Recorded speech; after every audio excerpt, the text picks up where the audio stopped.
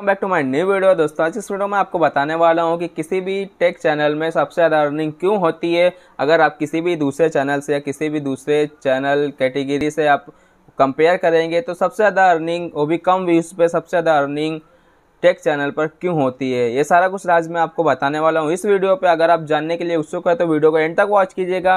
मेरा नाम है संदीप मिश्रा, आप देख रहे हैं मेरे चैनल टेक संदीप चलिए वीडियो को शुरू करते हैं, बताते हैं आपको क्यों ज़्यादा अर्निंग होती है किसी भी टेक चैनल पे। तो दोस्तों टेक्स कैटेगरी में अर्निंग करने के कुल पाँच तरफ़ डिवाइड है कि आप पाँच तरीके से वहाँ पे अर्निंग कर सकते हैं।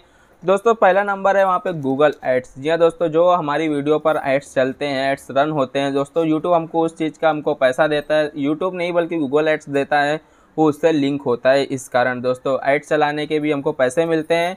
इस तरीके से वो हो जाती है यूट्यूबर्स की मेन कमाई शुरुआत से ही लेकर।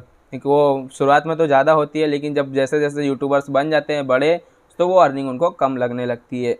दोस्तों, अब दूसरा नंबर बताने वाला हूँ, किस तरीके से दूसरी अर्निंग होती है। जी हाँ दोस्तों टेक कैटेगरी पे आप देखते होंगे स्मार्टफ़ोन रिव्यू के लिए आते हैं। जी हाँ दोस्तों, जो स्मार्टफ़ोन की कंपनी होती है, जो उनको रिव्यू के लिए मॉडल देती है, या कोई भी गैजेट देती है तो सबसे पहले उसमें ये होता है कि वो गैजेट की कीमत क्या है।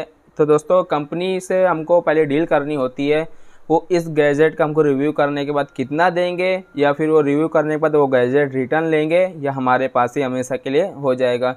अगर गैजेट महँगा है तो आपको रिव्यू करने का पेमेंट दिया जाएगा, पैसे मिलेंगे और वो गैजेट कंपनी रिटर्न ले लेगी 10 से 20 दिन के अंदर, जो जितने भी टाइम के लिए आपको रिव्यू करने के लिए दिया जाए।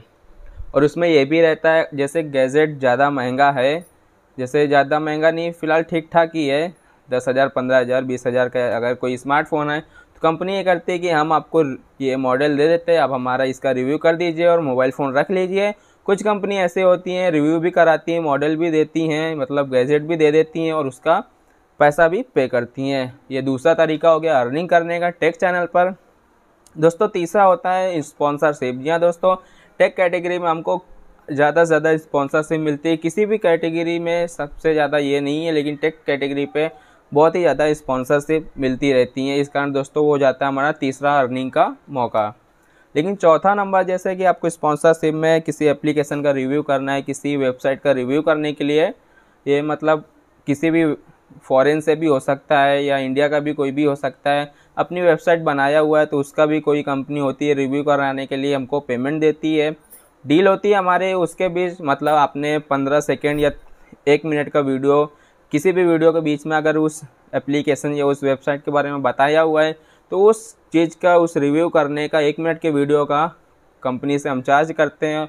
दोस्तों, वहाँ से भी बहुत ही अच्छी खासी अर्निंग हो जाती है। लेकिन दोस्तों, पाँचवा नंबर है एफिलिएट मार्केट या दोस्तों, जो भी प्रोडक्ट का हम यहाँ पे जैसे गैजेट का रिव्यू करते हैं, किसी भी प्रोडक्ट का हम लोग अगर टेक कैटेगरी वाले रिव्यू करते हैं, जैसे माइक का रिव्यू कर दिया दोस्तों, उसका लिंक आपको बायो में मिल जाता होगा। लेकिन दोस्तों, वो अमेजोन से जैसे आप ख़रीदने के लिए जाएँगे तो अगर आप उस लिंक पे क्लिक करके जाएँगे तो एफिलिएट मार्केट द्वारा हमको लोगों को भी कुछ ना कुछ अर्न होता है। जैसे आपका वो पाँच सौ रुपये का उसका चार्ज है मतलब पाँच सौ रुपये की चीज़ है।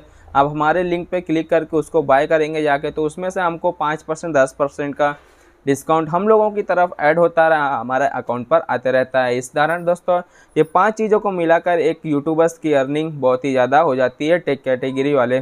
दोस्तों, वीडियो अच्छी लगी हो तो लाइक कर दीजिएगा चैनल पर नए सब्सक्राइब कर दीजिएगा। ऐसी वीडियो इन्फॉर्मेशन वाली वीडियो मैं अपने चैनल पर लाता रहता हूँ।